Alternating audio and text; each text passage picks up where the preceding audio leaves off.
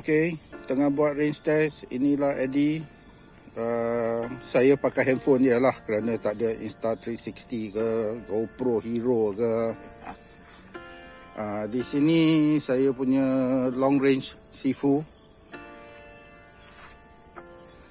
Yang bagi saya minat buat long range.